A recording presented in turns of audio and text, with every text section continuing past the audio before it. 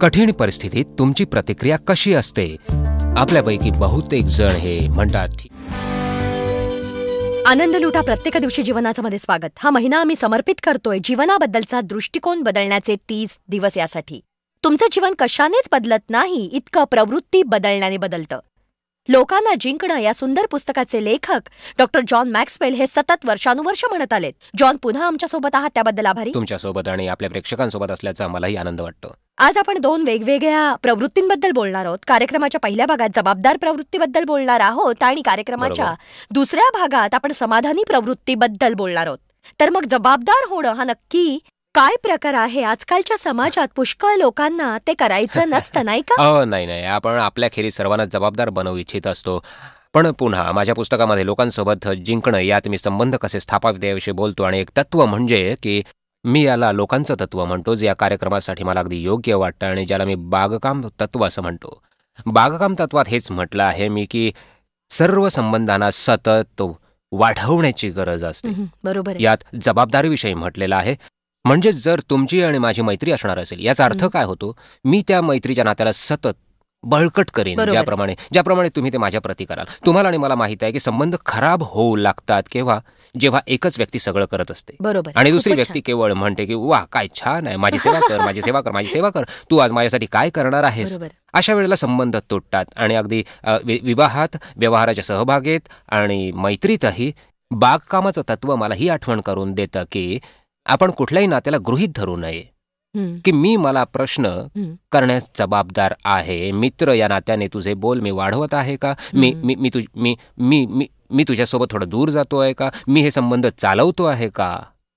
मी नेहमी म्हटलंय जॉयस की पुष्कळ लोकांसाठी भेटीगाठी आणि विवाहातला फरक हा असतो की भेटीगाठीमध्ये तुम्ही संबंध बळकट करता. तुम्ही कष्ट करता.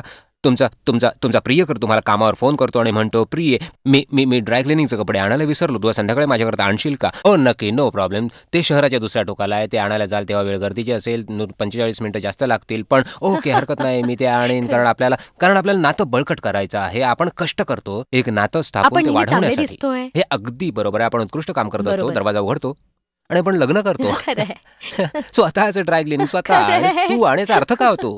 तुझ्याकडे गाडी नाहीये का? ड्राय क्लिनिंग कुठे आहे? तुला ठाऊक नाहीये का? काय? काय होतं की आपण संबंधांवर कार्य करणं बंद करतो. आमच्या आमच्या विवाहात सुरुवातीच्या वर्षात माझ्या आणि मार्गारेटच्या हे लक्षात आलं की त्या या बाबतीत आम्ही अडचणीमध्ये फसत आहोत. विशेषतः मी मी मार्गारेट सोबतच्या नात्याकडे तितकं लक्ष देत नव्हतो जितकं मी पालक या नात्याने माझ्या मंडळींकडे देत होतो. बरोबर.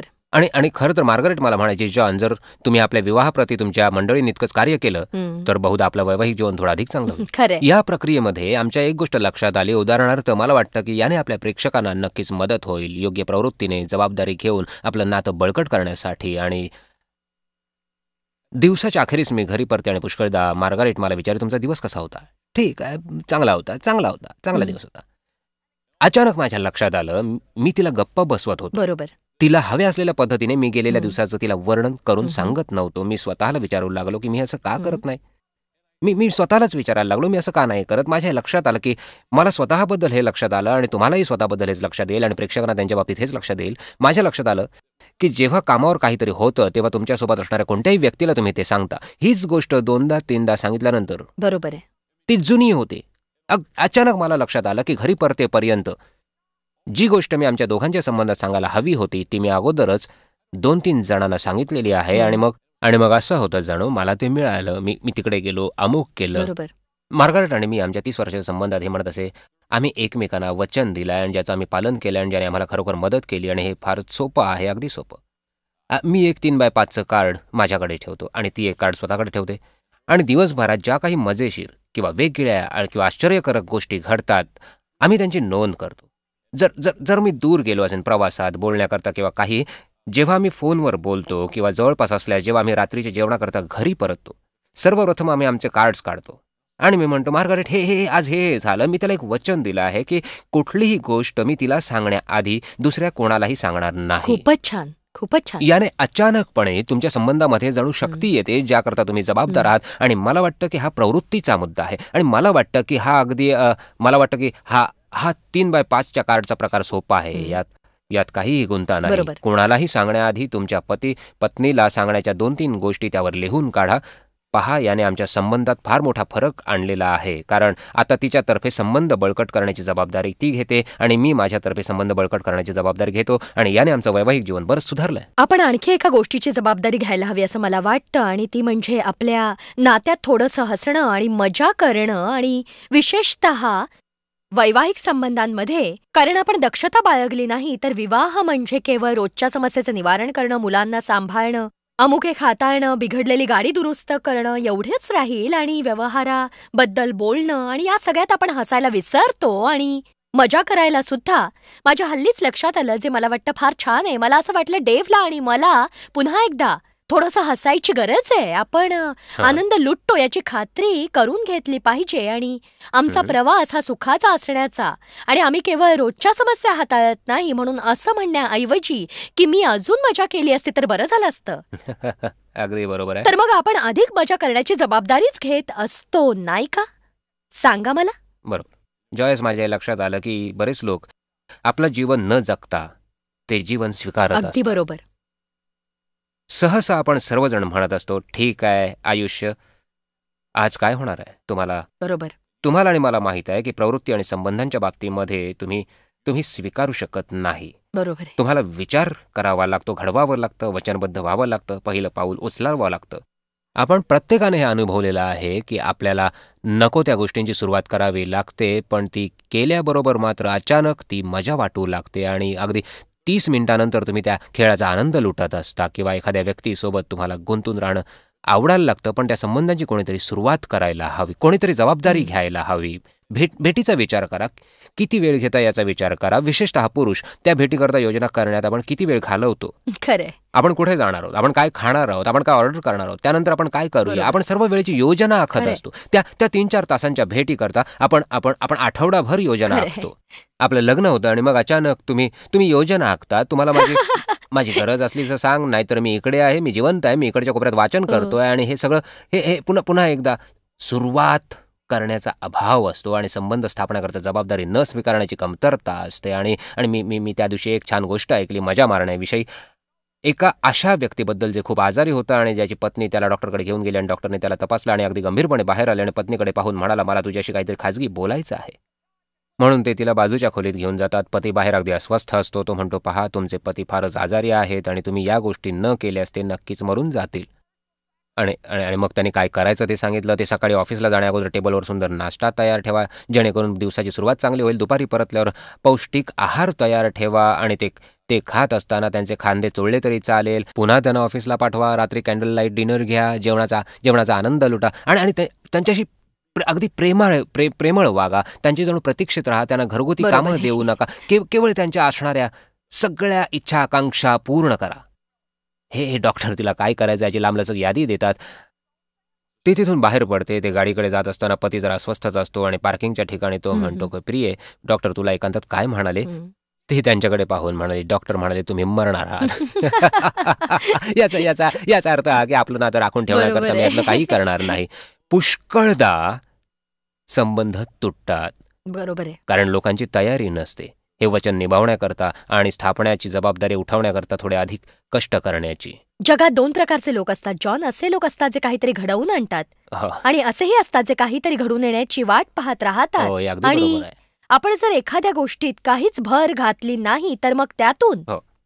काहीच उत्पन्न होऊ शकत नाही. आणि जरी समोरच्या व्यक्तीने तुम्हाला सगळं सगळं दिलं किंवा तिला तुम्ही फार आवडत असाल मला नाही वाटत तुम्ही त्याचा व्यवस्थितपणे आनंद लुटू शकाल. जर तुम्ही तुमच्या आयुष्यात पुन्हा पेरणी करत नसाल माझ्या स्वतःच्या सेवा कार्याद्वारे मी हे शिकले मग ती सभा असो एक टीव्ही कार्यक्रम असो एखादी शिकवण असो मी त्यात जितकी भर घाली मला तितकंच समाधान मिळत जातं मला त्यातून अधिक फायदा होतो मला अधिक संतुष्ट वाटतं. देवाने आपली निर्मिती निष्क्रियतेसाठी केली नाही. केवळ बसून इतरांच्या कष्टाचं मिळवण्यासाठी ही नक्कीच केलेली नाही नाही का?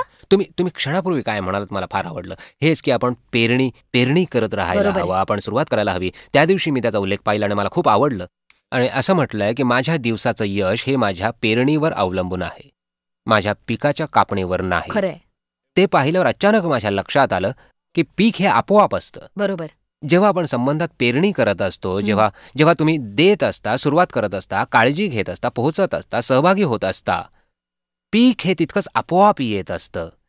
कित्येक लोक काय ते ते काय करतात? ते केवळ बसून म्हणतात वा मी आज चांगली कापणीच्या पेक्षा करतो. मला आर्थिक लाभ झाला तर बरं होईल. माझ्या जीवनात येऊन माझा दिवस कोणीतरी उजळवला तर बरं होईल. ते सतत कापणीचा प्रयत्न करत असतात. सतत कापणीचा प्रयत्न. आणि त्यांच्या लक्षातही येत नाही. दररोज केवळ पेरणी करा जबाबदार व्हा इतरांची काळजी घ्या सुरुवात करा. इतरांवर जीवन वाळून टाका परतीच्या अपेक्षेने दान करू नका. आणि मग काय होतं? पीक तुमच्या वाट्याला येतं. आपण फक्त कर्म करावं फळाची अपेक्षा करू नये. ओ आपल्याला काय हवं याचाच आपण विचार करतो. तुमच्या कौतुकाची मला गरज आहे तुमच्या प्रोत्साहनाची मला गरज आहे. तुम्ही माझ्यासाठी भेटी आणाव्यात असं मला वाटतं. तुम्ही मला उंचवावं असं वाटतं. आपण लक्षात ठेवलं पाहिजे की आपण कर्म करत राहायला हवं. आणि आपण जर कर्म करत राहिलो तर मग आपल्याला फळ हे मिळणारच आहे. आपल्या सगळ्याच प्रेक्षकांनी हे लिहिलं अशी मी आशा करतो. हा कार्यक्रमाचा हा भाग कधी संपतो असं मला झालं तुम्हाला हे आवडलेलं मला हे खूपच आवडलंय आणि इतकंच नाही तर एका पुस्तकात हे असणार आहे. मी खरंच सांगतो मी म्हणे माझ्या प्रिय दोस्त जॉयस मायर म्हणाल्या हे खरोखर सत्य आहे. आणि पुन्हा एकदा जेव्हा आपल्या मनात गरज असते आपण गरजू बनतो. खरे कारण तुम्ही हे म्हटल्यावर माझ्या लक्षात आलं माझ्या गरजा भागवा माझ्या माझ्या समस्या सोडवा माझ्या वाट्याला या.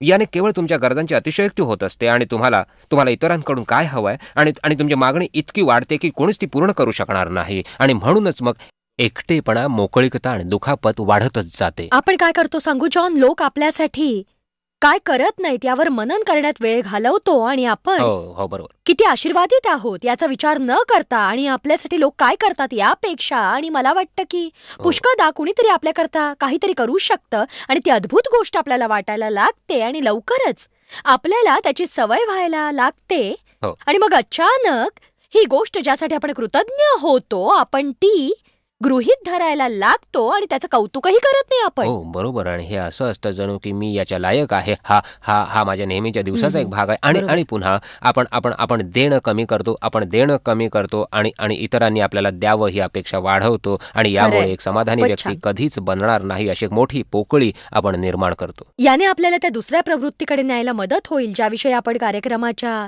पुढच्या भागात बोलणार आहोत. ती म्हणजे संतुष्ट प्रवृत्ती आणि ती महत्वाची आहे. संतुष्ट होणं कठीण असतं जेव्हा इतरांकडे असलेलं तुम्हाला हवं असतं. आपण विश्रांतीनंतर परतल्यावर जॉन आपल्याला या समाधानी तत्वाबद्दल सांगणार आहे. मी पुन्हा लेखक जॉन मॅक्सवेल यांच्या सोबत आहे आणि आम्ही जीवन बदलून टाकणाऱ्या प्रवृत्तींविषयी बोलतो आहोत. आपण जबाबदार प्रवृत्तीविषयी बोललो आणि हेही की आपण आपल्या वाट्याची भूमिका कशी निभवायला हवी आणि आपण कार्यक्रमाच्या दुसऱ्या भागात आपण संतुष्ट प्रवृत्ती असण्याविषयी बोलणार आहोत आणि मी इतकी असमाधानी होते माझ्या आयुष्यात आणि कोणीही मला आनंदी करू शकत नव्हतं. मला वाटायचं की तुम्ही अमुक केलं तर मी सुखी होईन माझ्याकडे अमुक असेल तर मी आनंदी असेन आणि जर मला काम नसेल मी खुश असेन मला काम करता आलं तर आनंदी असेल कारण आता माझ्याकडे काम नाही आणि आता मला कंटाळा आलेला आहे. मी हे काम केलं तर माझ्यावर तणाव आहे. आज ना उद्या आपल्या हे लक्षात यायला हवं की आपल्याला जर कशातूनच आनंद मिळत नसेल हो. केवळ तात्पुरता आनंद आणि पुन्हा आपण असंतुष्ट बनत असू तर हीच आपली प्रवृत्ती आहे. ज्यात आपण बदल घडवून आणला पाहिजे आपल्यात असं काही आहे ज्यावर आपण हो, कार्य करायला हवं आणि तुम्ही असमाधानी असंतुष्ट प्रवृत्तीबद्दल काय शिकलात ते सांगा मला आठवतं जेव्हा मी एकदा मार्गारेट सोबत एक सभा घेत होतो आणि आणि प्रश्न उत्तराची वेळ होती आणि ही वेळ असताना तुम्ही कुठल्याही प्रकारचे प्रश्न विचारू शकता आणि एक महिला माझ्या पत्नीकडे पाहून म्हणाली आम्ही विवाहाबद्दल बोलत नव्हतो पण तिने तिच्याकडे पाहून विचारलं जॉन तुम्हाला खुश ठेवतात का? मी विचार केला ठीक आहे कारण मी चांगला चांगला पती होतो असा माझा समज होता. मार्गारेटने तिच्याकडे पाहून म्हटलं तिला उत्तर दिलं जाणून ती वर्षानुवर्ष प्रतीक्षा करत होती. तुम्हाला माहिती आहे कधी कधी असं वाटत असतं की की मी या प्रश्नाची वाटच पाहत होते मी या प्रश्नाची वाटच पाहत होते आणि तिच्याकडे पाहून तिला म्हणाले नाही ते मला खुश ठेवत नाही पहा ही माझी सभा आहे आणि मी तिला म्हणालो प्रिय याचा अर्थ काय होतो? मी कधीच विसरणार नाही. ती म्हणाली नक्की मला आनंद होईल. मग असं होतं तिचं उत्तर जणू वर्षानुवर्ष वाट पाहत होतं. ती म्हणाली आमच्या आमच्या विवाहाच्या पहिल्या सहा महिन्यातच माझ्या लक्षात आलं की जॉन मला कधीच सुखी ठेवणार नाही.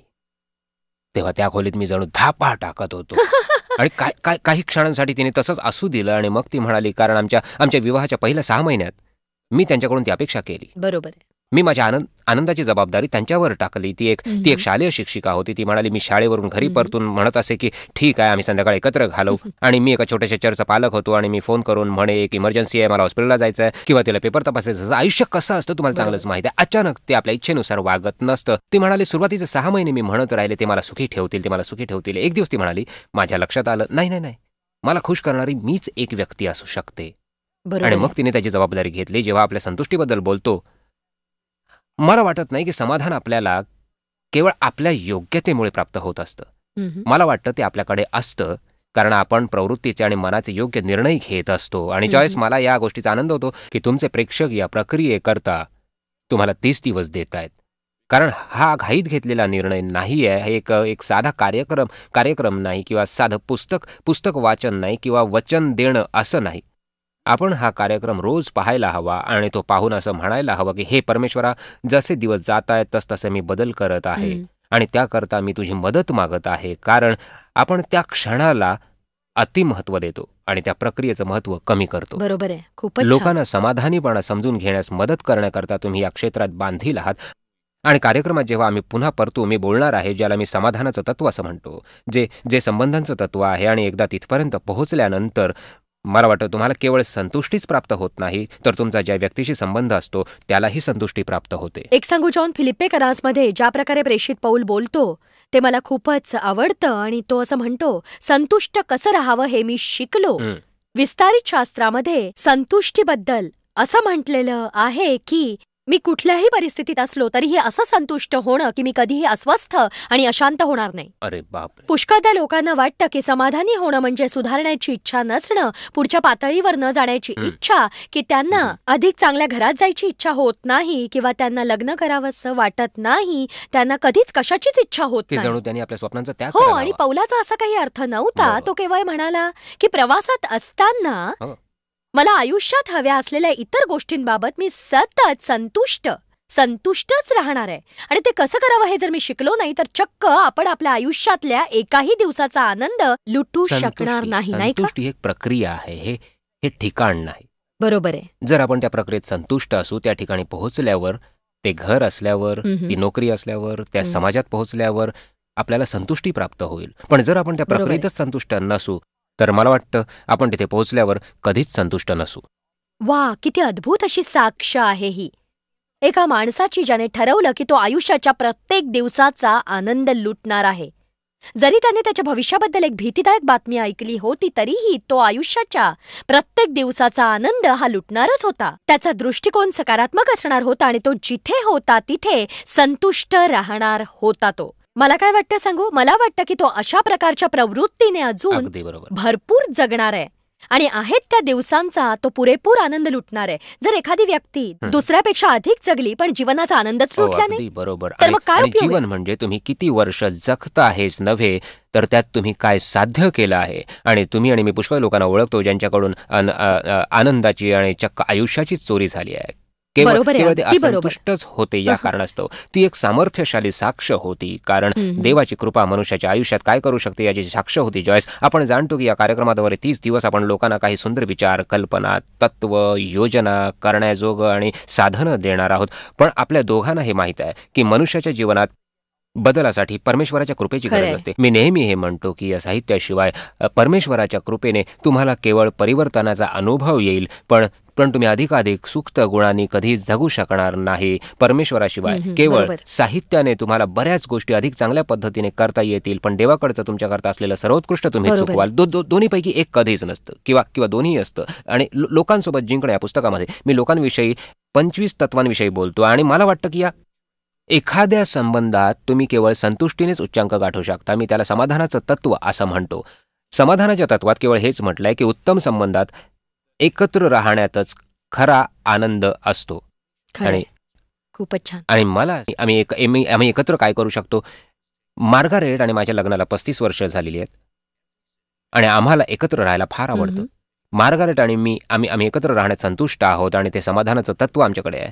याचं कारण जॉयस मॅ सेवा कार्यात तुम्हाला कल्पना नसेल इतके तुम्ही आमच्यासाठी महत्त्वाचे आहात. आम्ही तुमचं स्वागत करतो आणि जगभरातील सेवा कार्य यशस्वी करण्यासाठी आमच्या मित्रांचे आणि भागीदारांचे आम्ही आभार मानतो. तुमच्या संवेद आम्ही भुकेलेल्यांना अन्न देतोय गरिबांना वस्त्र देतोय आणि देशांना सुवार्थेची भेट देतोय. आमच्याशी संपर्क साधा किंवा J M M India dot org ला भेट द्या आणि प्रार्थना विनंत्या आमच्यापर्यंत पोहोचवा. जॉयसच्या सभांचा कार्यक्रम पहा आणि आपला सहभाग द्या. कारण संपूर्ण जगभर आम्ही येशूची प्रीती वाटत आहोत.